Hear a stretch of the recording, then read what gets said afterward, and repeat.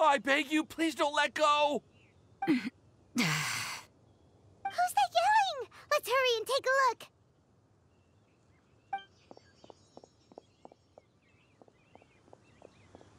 Timaeus?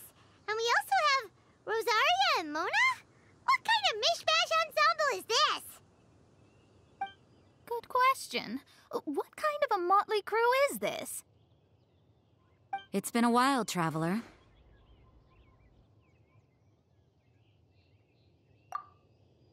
You two are looking pretty good. I trust you've been well.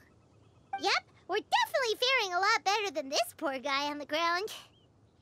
Hey, please don't rub salt in my wound.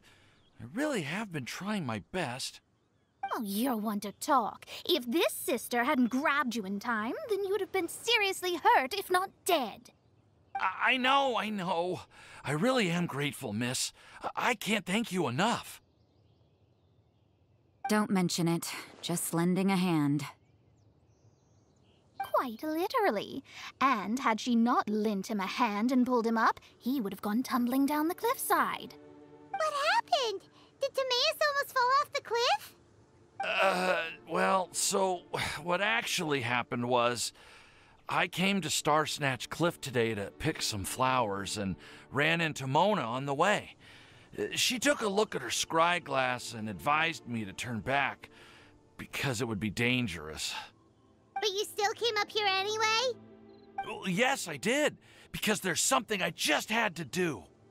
Oh, I hardly think giving flowers to your crush is worth throwing one's life away for. It's rare to run into someone with a death wish in this area. I- I don't have a death wish. I just uh, didn't think it would really come true.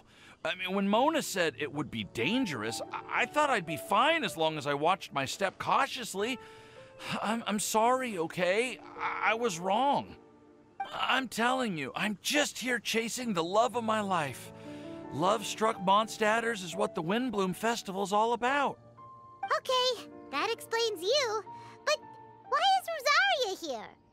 I was looking for a quiet place to escape the crowds. I wasn't planning on having to save a life along the way. So that's why the scryglass just showed danger instead of fatal danger. Very funny. Anyway, uh, Traveler and Paimon, uh, what brings the two of you to Star Snatch Cliff? Just trying our luck. We've got a lot of people we need to see today, so we've been all over the place. Actually, you're some of the people we were looking for. Huh?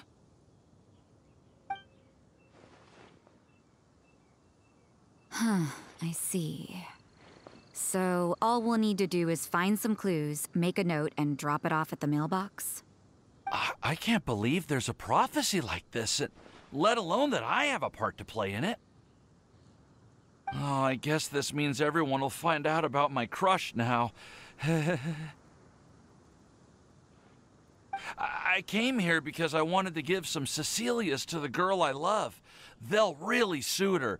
She's. No, no, no, no one asked. Please, do not subject us to your gushing about your girlfriend.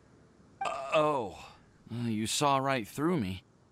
You said you need clues, right? Well, in that case, Mona Megistus the astrologist will provide you with a personally handwritten letter. Just wait for it to show up in your mailbox. You can be on your way now. We won't keep you any longer.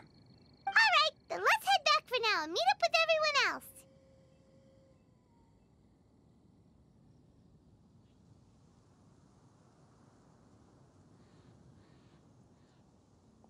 Will do. Uh, this is all so embarrassing.